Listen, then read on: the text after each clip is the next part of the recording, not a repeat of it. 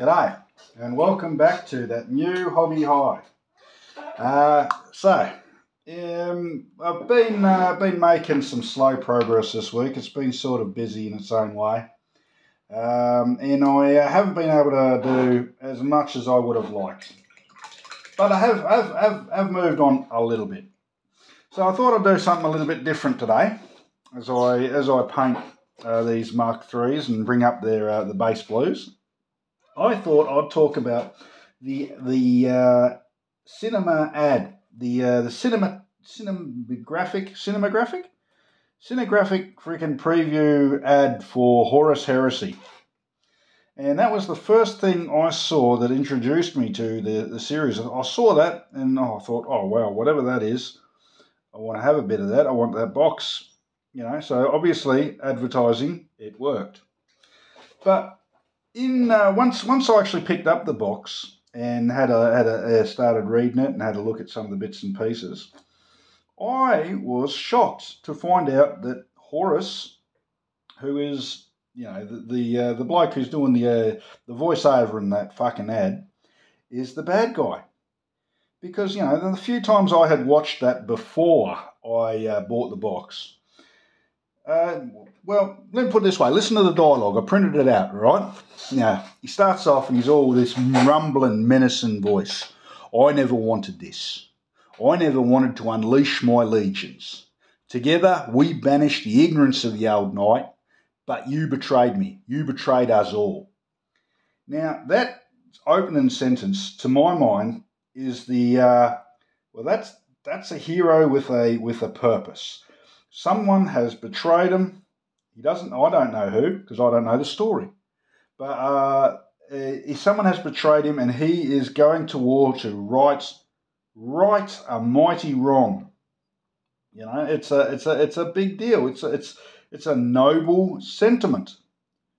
The next part, he goes, You stole power from the gods and you lied to your sons. So, whatever chap he's talking about, he's, um, he's a thief, and, and a liar and, and obviously a bad guy, you know, from, from that one statement alone. Mankind has only one chance to prosper, and you will not seize it. And if you do not seize it, then I will. So let there be war from the skies of Terra to the galactic rim. So obviously that gives it scale, but it also sounds like you know the uh, the bloke he's talking to has the opportunity to save mankind and is refusing to do so. So, this man with his big menacing voice and the big scary armour is taking up the mantle, He's going to war against whoever this chap is to save mankind. Big, epic. This is a this is a hero's speech. This is a man who's trying to save people. You know, that's how, that's how it sounded to me when I watched the cinematic, cinematographic, cinematographic cinematic trailer. Fuck, got the word right. Thank fuck for that. Um, so then he goes on, let the seas boil, let the stars fall. Though it takes every last drop of my blood, I will see the galaxy freed once more. And if I cannot save it from your failure, Father, then let the galaxy burn. Now there's a man like every drop of my mud, oh, blood, I will see the galaxy freed. That's not that's not the statement of a monster. That's a statement of a of a hero with a fucking quest, freaking that's just going to be near impossible to undertake. It's I, I came away watching from watching that preview that thinking that that big dude in the armor, although he was nice and big and fucking terrifying looking, because let's face it, he he ruthlessly kills that dude in yellow. Uh, you know, he's wounded, but the dude in yellow tried to strike him first, so obviously a bad guy. You know?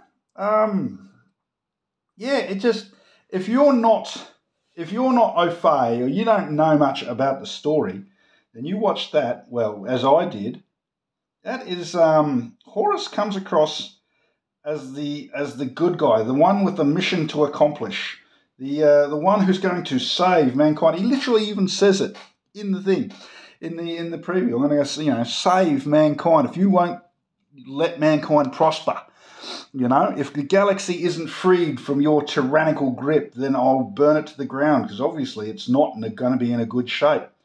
It needs to be pulled down. I came away thinking that Horus was going to be a fucking well, not Horus. I didn't know his name at that point because at no point is the Emperor mentioned. At no point is Horus mentioned other than the, the title card. So it's just some big scary dude who's freaking going to you know obviously the scale of the thing, you know, universal war to uh, to free humanity. Oh, bloody hell! What a what a switcheroo! Because um, how much advertising do Game Workshop does Games Workshop do when they they're not they're advertising to people who know the story. They're not advertising to fucking poor buggers like me who have fucking no clue, and that's ninety percent of the population who have no clue about the universe whatsoever. And um, they're going, oh, fucking, we'll sell to the people who we already selling shit to. You know the story. We ain't going to change it. We ain't going to freaking elaborate on it. This is this is what you get. This is what you're getting. So you walk into it, and it's a bit of a fucking slap in the face finding finding out all this when when you're just starting to read. Uh, you know, Horus comes across with it. The, I'm just going to call him the talking chap because until he, he developed a name uh, in the in the like the first half of the rule book, he he was the hero in my mind as I bought the box, and I wanted to play his army. Except the, uh, I found out later that his army, you know, the um, Sons of Horus, is actually the same colour as uh, an Australian cigarette packet. Thought, oh, fuck that, then a gross colour. But the, um, yeah, no, I, I, I, I was, I was, I was shocked. But, you know, I got into it, and figured it all out. But I would think you shouldn't have to figure it out. Something like that should be obvious if you're trying to market something to someone new, to someone who doesn't know it. You know, you don't just go straight into Star Wars with someone who doesn't know Star Wars and go, oh, by the way, this is um, this is Anakin Skywalker who's going to be the big bad guy in the third series. And you all know that already, so we're just going to go straight in and, and talk about Obi Wan Kenobi. You know, it's, it's you need to sort of melt that in. Anyway, um, that's my uh, that's my thoughts on how I got into it. I, I saw that ad and I thought I want that, and then that was my reaction afterwards. You know, holy shit, he's not the good guy. He's actually a dick. Because you know, Emperor's not mentioned. Horus is only in the title card. I don't know. That's the bloke's name until until I actually bought the fucking box. Anyway, what else is happening? Uh, I haven't been able to get a lot of work done. I'm still waiting for some bits and pieces. Uh, these Mark 3s are a lot slower to paint than the Mark 6s. They uh, have so much more edge highlighting and detail. This has only just been base blued over the over the shade. So I still need to pick up a lot of the edges. But just, you know, the trim, just reach under here, try not to knock everything off. You know, you got the, uh, the the gold trim above and below. It's it, it takes time It takes a little bit of time. So these are slower than the Mark 6s. I still got to figure out what goes in each, each shoulder pad. I mean, it makes sense on the Mark 6. This one's gold studs, and that's the uh, Omega. This one, I don't know. Maybe I might even put something on his chest. It's a nice big piece there. But I like the backpack, and there's a lot of edges and details to pick out, and lots of little studs. I'm not really sure if I'll be picking out the studs yet, whether it'll make it look too complicated, because there's quite a few of them around the kneecaps and the shoulders and around the greaves. But it's coming along nicely.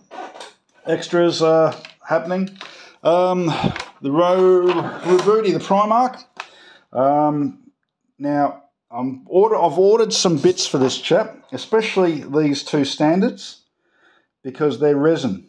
So I've ordered some uh, brass rod because uh, oh, the resin it will get snapped and soft and, and it'll just you know it's warm even in this room it's 30 let me just look 34 degrees in here because I can't be fuck turning the air conditioner on because that would involve walking downstairs and I am a lazy fuck at heart but yeah, using brass rods. I'll cut all these off and I'll, I'll fix them onto the brass rod and remake the straps for the base. So I'm still waiting for some bits and pieces before I continue on with that. Uh, I'm hoping to have some of these all painted up and uh, maybe maybe even try and get a game before the weekend.